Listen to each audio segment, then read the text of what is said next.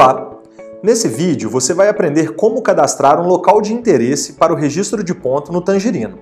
Locais de interesse são endereços já conhecidos, que fazem parte da rotina de trabalho dos colaboradores e podem ser cadastrados no sistema para constar no apontamento de horas. Você pode cadastrar o endereço de sua empresa, de uma filial ou quaisquer outros que desejar. Dessa forma, os colaboradores só poderão registrar o ponto nesses locais e o gestor poderá acompanhar as atividades de cada um com maior precisão. Vamos lá? Acesse o Tangerino Web em seu computador utilizando qualquer navegador. No menu Colaboradores, clique em Local de Interesse.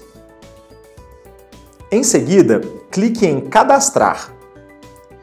Adicione o endereço desejado no mapa, preencha as demais informações e clique em Salvar.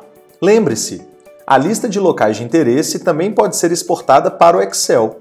Para isso, basta clicar no botão Exportar Excel na tela anterior e fazer o download de sua planilha. Pronto! Até o próximo vídeo!